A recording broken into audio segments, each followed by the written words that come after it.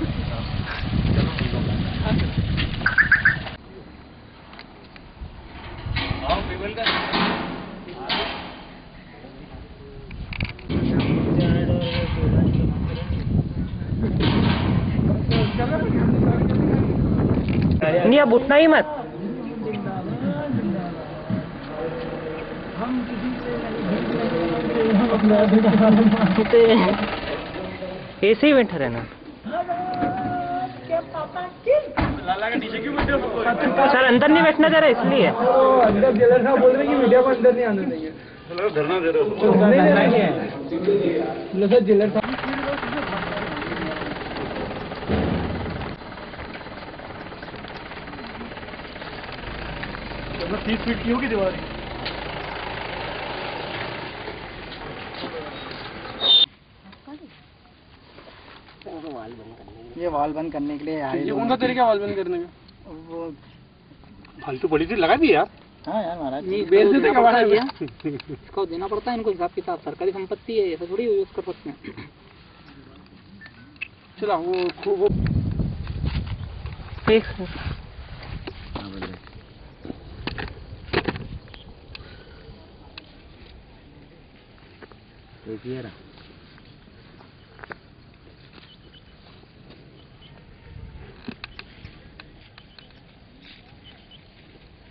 बड़ा कमरा है। ठीक है?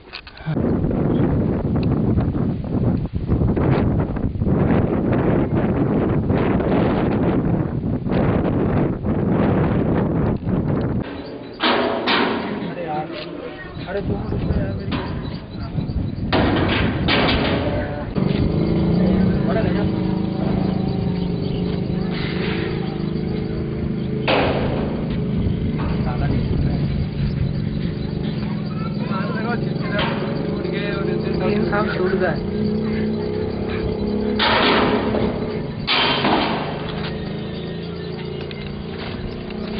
किन किन बिंदुओं पे जाँच की गई है?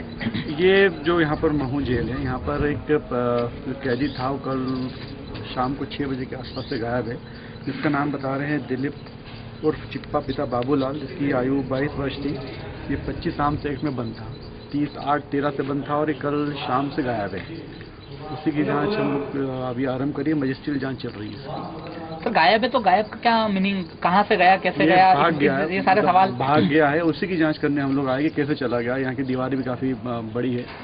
तो इसी की सब सघन बिंदुओं पर जाँच चल रही है। सर पहले सर ऐसा तो नहीं कहीं कि कैदी को किसी काम के लिए बाहर निकाला हो किसी स्टाफ मेंबर के यहाँ काम करने के लिए बुलाया गया और इस दौरान वो भाग गया हो। नहीं नहीं वैसा तो नहीं है। अभी अभी जाँच चाहिए अभी जाँच की प्रोसेस में ही हम लोग उसके जाँच उपरांत ही कुछ कह पाएँगे। कुछ महीने पहले भी यहाँ पर एक सिपाही को निलंबित किया गया था जो नशीले पदार्थ यहाँ उपलब्ध कर हाँ हाँ पहले भी एक आदमी को हमें निलंबित किया था। महू जेल के अंदर। इस तरह की चीज़ें क्यों होती उस जाँच के बाद ही उपरांत हम बता पाएँगे कौन दोषी था और जो भी दोषी रहेगा कार्रवाई करेंगे उस पर। आपने प्राथमिक तौर पर क्या पाया सर? प्राथमिक तौर पर दो लोगों के नाम सामने आ रहे हैं दो प्रहरी है एक मुख्य प्रहरी है और एक प्रहरी है। तो उन पर कोई कार्रवाई की हाँ उन पर, आज ही कार्रवाई करेंगे। उन पर एक का नाम है मूलचंद मिश्रा। और एक का नाम है श्री अवधेश पटेल जो मूलचंद मिश्रा ये मुख्य प्रहरी है। और जो प्रहरी है अवधेश पटेल है। जो ड्यूटीज़ जो चेंज होती है जो शिफ्ट रहती है उसमें इन, लोगों की ड्यूटी थी उस समय आप। लेकिन सर बार बार इस तरह की पहले भी दो प्रहरियों के खिलाफ मामले आए थे बार बार अगर प्रहरी ऐसा कर रहे हैं तो ऊपर का जो मैनेजमेंट है उनका वो क्या कर रहा है इस पूरे मामले में? वो उस ड्यूटी पे क्यों ध्यान नहीं दे पा रहा है? इस इस इसके जो जो जेल होती है यहाँ की उसका निरीक्षण बार बार समय समय पर एसडीएम द्वारा माननीय जुडिशरी के अधिकारियों द्वारा जजेस द्वारा किया जाता है। और आकस्मिक निरीक्षण ही होते। अभी हमने यहाँ की जो बुक होती है निरीक्षण बुक का भी हमने अवलोकन किया तो इससे पूर्व में भी जो भी एसडीएम रहे उन्होंने सब इसका सघन और आकस्मिक निरीक्षण ही किया है इसका। उसमें कुछ अभी हम लोगों ने भी जेल की कुछ साइट्स विज़िट की थी तो वहाँ हमने देखा है कि जेल के जो दीवारें हैं उसके अंदर बड़े सुराग हैं। हम्म। तो क्या पॉसिबल है कि वहाँ से भी कुछ नशे का सामान या हथियार या अदरवाइज़ अदर जो चीज़ें होती हैं वो जेल के अंदर पहुँच हाँ जैसे मैंने अभी आपसे कहा भी जाँच अभी चल रही है। अगर छेद आप बता रहे अगर है तो ये इसकी संभावना बनी रहती है। ठीक थैंक यू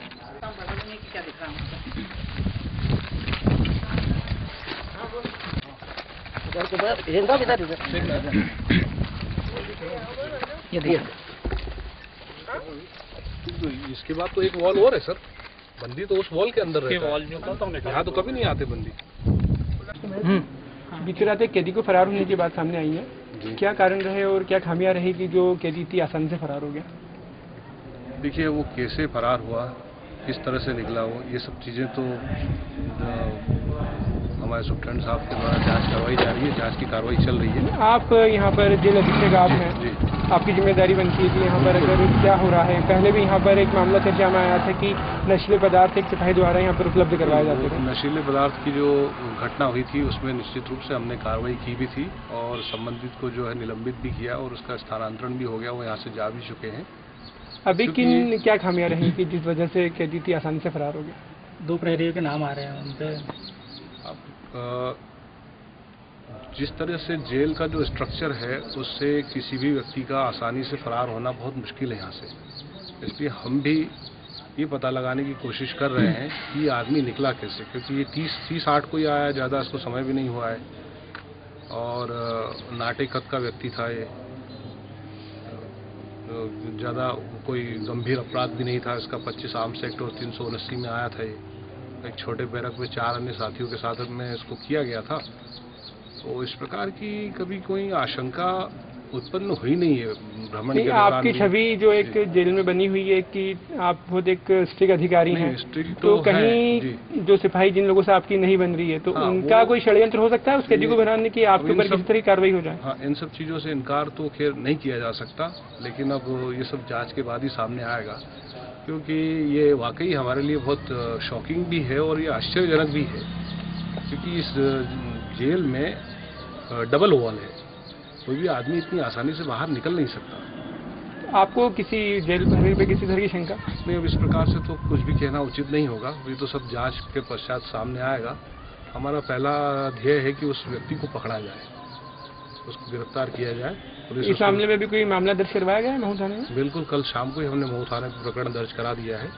उनके द्वारा कायमी कर ली गई है और वो ढूँढने के लिए उनके द्वारा अवगत भी कराया गया था कि दल उनके भेजे भी गए हैं। देपालपुर जहाँ वो रहता है वहाँ भी भेजा गया है। क्या नाम बताया जा रहा है का उसका दिलीप पिता बाबूलाल नाम है आरोपी का उसकी उम्र 22 वर्ष है और 30 आठ को किशनगंज थाना के दो प्रकरणों में उसको जेल दाखिल कराया गया बता दें ये वही आरोपी है जो कुछ महीनों पहले अमिताभ बच्चन के घर के अंदर भी घुसा था। देखिए कोई आरोपी जेल दाखिल जब कराया जाता है तो हमको उसके संबंध में जानकारी का आधार होता है मात्र उसका वारंट।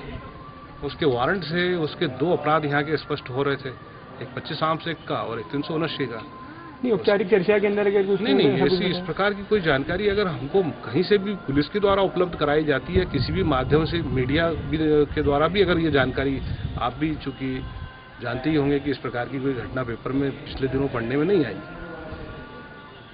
और हमारे द्वारा पूरी सतर्कता बरती जा रही थी उस तीन नंबर सेक्टर जो रोड से लगा हुआ है आपकी सतर्कता पे तो सवालिया निशान उठ गया है कि यदि भाग चुका है। हाँ बिल्कुल सही सत्य कह रहे हैं आप। तो तीन नंबर सेक्टर में जो है वॉल गार्ड भी स्पेशली इसीलिए लगाया हुआ है क्योंकि वो रोड साइड से है। अभी एस एसडीएम यहाँ पर आए थे जेल के अंदर उन्हें मामला किया है? तो किसी तरह की कार्रवाई करने की बात कही है? कार्रवाई उनके द्वारा की जा रही है। अभी भी अभिषेक शर्मा जी यहाँ मौजूद हैं उनको निर्देश दे करके गए हैं। अब क्या कार्रवाई करते हैं एसडीएम साहब? तो ये तो आपको जिन प्रहरियों की उस समय ड्यूटी थी क्या उनको निलंबित करने की चर्चा की जा रही है? जो भी अधीक्षक महोदय आदेश करेंगे। चूँकि भी कार्रवाई जारी है इसलिए कुछ भी कहना उचित नहीं होगा। उनके नाम बता पाएँगे कौन कौन जेल प्रहरी तरफ़ उस दौरान जो है वार्ड क्रमांक दो तीन में अवधेश पटेल प्रहरी की ड्यूटी थी और मुख्य प्रहरी जो है मूलचंद मिश्रा जी की ड्यूटी थी। ये लोग अंदर तैनात थे बंदियों की सुरक्षा में। तो उसकी जगह वो नहीं, उसका कोई साथी जेल के अंदर मौजूद नहीं है। क्या हुआ कि पाँच बज के साढ़े पाँच बजे जब भोजन परेड हो रही थी तो वो भोजन की लाइन में नहीं दिखा। हम्म, तब एक व्यक्ति जो है उसने कहा कि यहीं कहीं होगा जाओ उसका भोजन ले आओ। हम्म, तब हमारे प्रहरी ने कहा कि नहीं उसी को भेजो खाना लेने के लिए। जब वो नहीं आया हम्म, तो प्रहरी ने उसको इधर उधर ढूंढा। हम्म। उसके बाद वॉकी टॉकी पे मैसेज किया मुख्य प्रहरी वगैरह। तो वॉकी टॉकी सिलेट मेरे पास भी मेरे ऑफ़िस में रखा हुआ था। मैंने भी सुना तुरंत हम लोग अंदर गए। हम्म। तफ्तीश की उसकी।